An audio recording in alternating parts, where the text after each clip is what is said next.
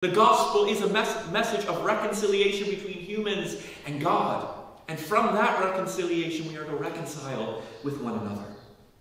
This message was embedded in last week's and this week's gospel reading. We need to confront our biases. We need to confront our demonization. We need to confront our beliefs that make us feel superior to others. We need to open our hearts wider.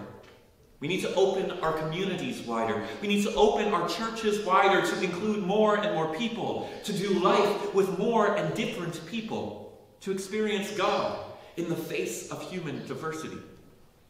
Because God's not limited to our group. God doesn't only work within people you like. God is present among even your enemies, even as God is present among you.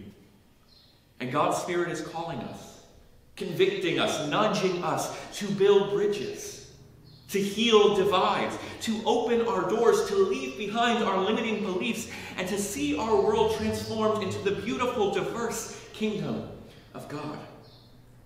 So this week, may each of us be open to the Spirit's leading.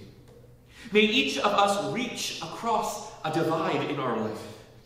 May we intentionally set aside our biases. May we choose to wage peace instead of division.